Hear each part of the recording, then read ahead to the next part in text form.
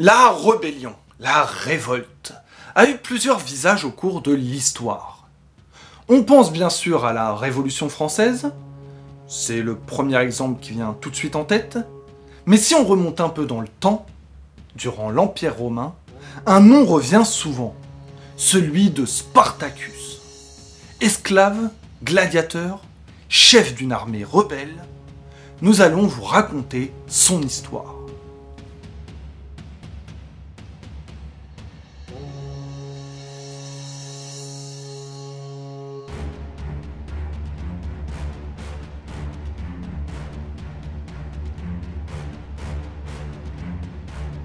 Nous avons peu d'informations sur son enfance.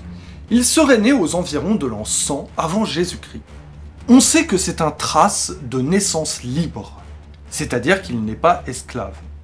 Le nom Spartacus est d'origine thrace. On ne sait pas d'ailleurs si c'était son vrai nom, les gladiateurs pouvant utiliser des pseudonymes. D'après le penseur gréco-romain Plutarque, il est possible que Spartacus ait reçu une éducation grecque. Il précise d'ailleurs que le futur gladiateur était plus digne d'un grec que d'un barbare. La tribu à laquelle appartenait Spartacus était tributaire de l'armée romaine. Les membres de la tribu servaient dans les troupes auxiliaires. Les Thraces étant réputés bons cavaliers, il a probablement combattu en tant que tel lors de la guerre contre Mithridate. Il en profite pour connaître l'organisation, la tactique et les stratégies des troupes impériales. Il déserte et devient brigand. Ou alors il rejoint une armée rebelle. Dans tous les cas, il sera fait prisonnier par les troupes romaines en moins 75.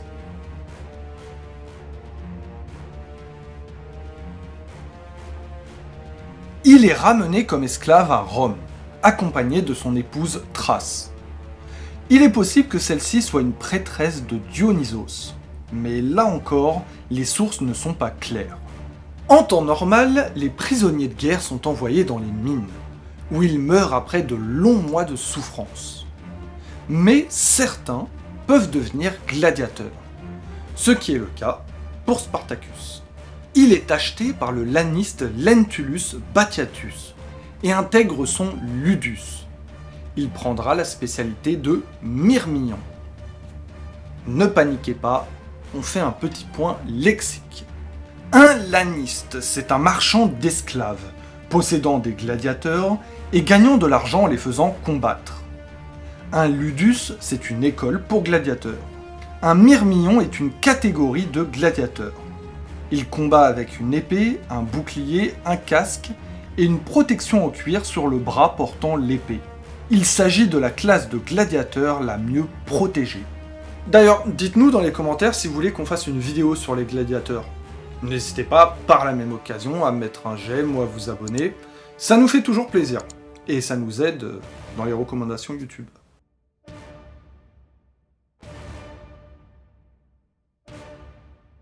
À l'été 73, toujours avant Jésus-Christ, on n'a pas gagné un siècle en une transition, 300 gladiateurs de l'école de Batiatus se révoltent.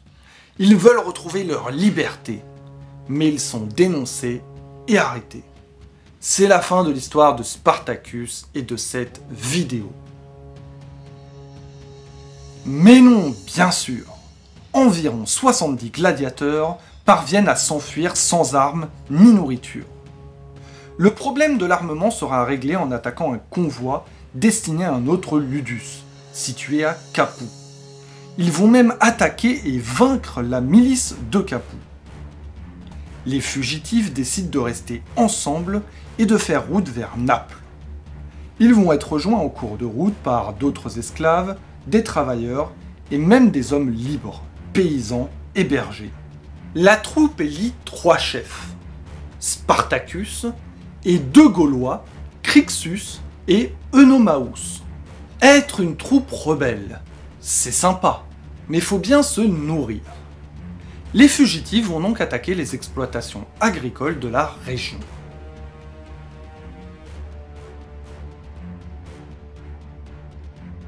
Rome envoie une première troupe de 3000 hommes attaquer Spartacus. Glaber, le prêteur romain, assiègent les forces rebelles sur le Vésuve. Ils pensent les avoir par la fin. Mais Spartacus contourne le problème.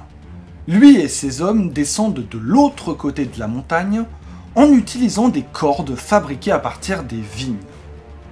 Une fois descendus, ils peuvent attaquer les forces romaines par surprise et vaincre. L'armée rebelle pille de nombreuses villes autour de Naples, et Spartacus a du mal à gérer ses hommes. Il faut dire que la petite bande de 70 fugitifs est devenue une armée de 120 000 hommes. De nombreux viols sont commis, ce que réprouve Spartacus. Trop de désaccords.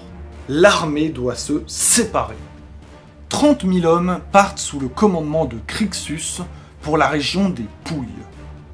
Il sera rapidement vaincu par les troupes romaines, ses troupes massacrées, et lui-même y laissera la vie. Spartacus, de son côté, va vaincre une armée romaine de 16 000 hommes. Il décide de venger la mort de Crixus en organisant des jeux funèbres. Il fait construire un grand cercle en bois et force les prisonniers romains à s'entretuer dans des combats à mort. Ça rappelle quelque chose. L'armée rebelle se déplace vers Modène et bat à nouveau une armée de 10 000 Romains. Spartacus fait route vers le sud et s'installe dans le port de Thurie. Les rebelles y restent quelque temps, font du commerce et des réserves d'armes et de vivres.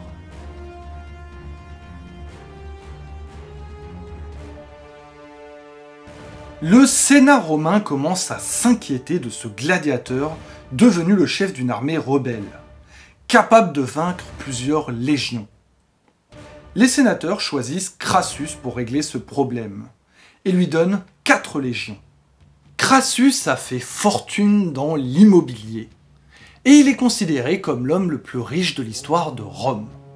Rien que ça. Il va lui-même lever six nouvelles troupes composées de vétérans.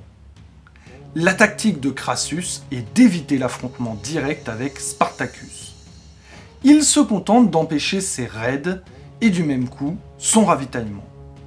Un de ses légats, un adjoint, désobéit aux ordres et décide d'attaquer Spartacus avec deux légions. Défaite totale. Crassus est furieux. Il décide de faire un exemple et de pratiquer la décimation. On prend un dixième des soldats du premier rang qui sont fouettés mis à mort. Une autre époque.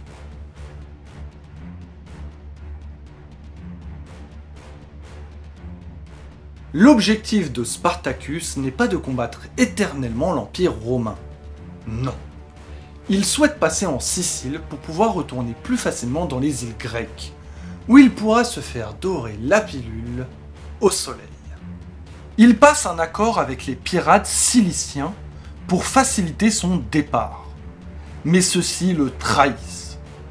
Décidément, on ne peut plus faire confiance à personne. Quel monde allons-nous laisser à nos enfants? Un monde où on ne peut plus faire confiance à des pirates? Spartacus est piégé dans la pointe de l'Italie, d'autant que Crassus bloque sa route vers le nord. Il s'en sort encore une fois en profitant d'une tempête de neige et du manque de visibilité qui en découle. Il va même réussir à vaincre trois légions romaines sur son chemin. Ses troupes sont galvanisées et c'est pas un bon point. Ces hommes sont persuadés qu'ils peuvent vaincre l'armée de Crassus en combat frontal.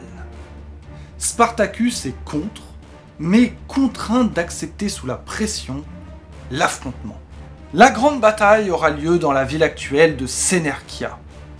L'affaire est rapidement réglée. Les rebelles sont écrasés. 60 000 insurgés sont tués contre 1000 pour le camp adverse. Spartacus lui-même sera tué au cours de la bataille. Ses hommes l'ont abandonné à son sort, mais lui est mort les armes à la main. Nous sommes en 71 avant Jésus-Christ et la révolte est terminée.